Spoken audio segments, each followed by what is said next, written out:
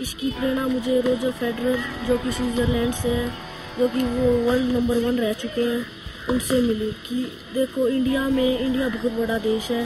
India India उसी game में medal जीत पाता है, जिसमें थोड़ी ताकत वाला ज़ोर होता है। पर ये जो नॉन टेनिस गेम है, ये यूरोप का थोड़ा साउथ का गेम है, और इसमें इंडिया वाले कम ही होते हैं। जब इंडिया देख लो थोड़े बहुत ही। हैं लियंडर पेस महेश भूपति सानिया मिर्ज़ा, बस।